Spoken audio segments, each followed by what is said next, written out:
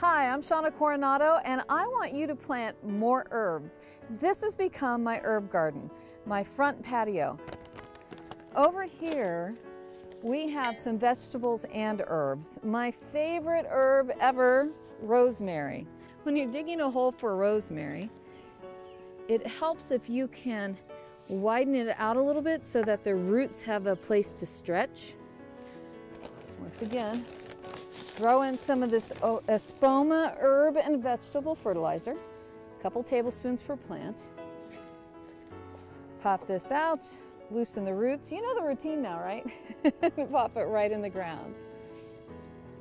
And I'm gonna keep doing this until I have herbs all around the patio. It's gonna be a wonderful summer.